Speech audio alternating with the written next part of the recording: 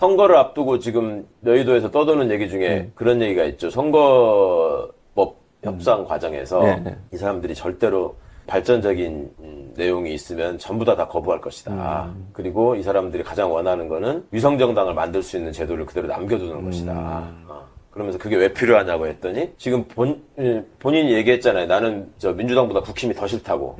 그리고 이것들 녹취록에서. 어, 어, 이것들 네. 접수해가지고 다 깨버린다고 했잖아요. 또 깨버리려면 본인의 수하들이 많이 당선되는 게 중요하잖아요. 근데 그 수하들을 당선시키려면 당선이 가장 확실한 저 강남 지역이나 영남에다가 보내야 되는데 그러면 내부에서 이제 싸움이 날 거 아닙니까? 그렇죠. 그이 국힘의 구성원들이 또 보통 사람들이 아니기 때문에 자기 바크를 뺏어가려고 그러면 이제 온갖 일을 벌일 텐데 그러니까 자기 수하들을 그대로 국회에 입성시키려면 제일 편한 방식이 위성정당이라는 거예요. 거기다가 쭉 몰아넣어놓으면 그러니까 그런 얘기까지 나오고 있는 상황인데 그게 일종의 불안함의 표현 아닌가 싶기도 하고 또 하나는 이번 일이 생기면서 뭐 개각을 한다 어쩌고 하는 걸 보면 그 전에 왜 산업부 장관이나 뭐 바꿀 때도 그런 거였잖아요. 자기가 얘기를 하면 바로바로 실행을 해야 되는데 공무원들을 뭐 얘기 듣고 하느라고 이게 늦어진다. 어? 그런 그런 것도 말하자면 영이 서지 않고 공무원들이 움직이지 않, 않는다라고 하는 거는 대통령으로서 지금 역할이 안 된다는 걸 본인이 아는 거잖아 요. 그리고 이번에 사람들이 왜 사단장을 빼라고 겨- 만약에 경로했다면 사실이라면 왜 그랬을까라는 거를 많이 궁금해 하시던데 저는 처음에 딱 듣자마자 아 그랬겠네 싶더라 싶었던 이유가 네. 그 본인은 그거를 왜 저기 군인들 출신도 지휘 책임을 사단장까지 그렇게 물, 물으면 안 된다라는 주장을 했던 사람도 있었잖아요. 사단장이 실제로 그 현장까지 갔었고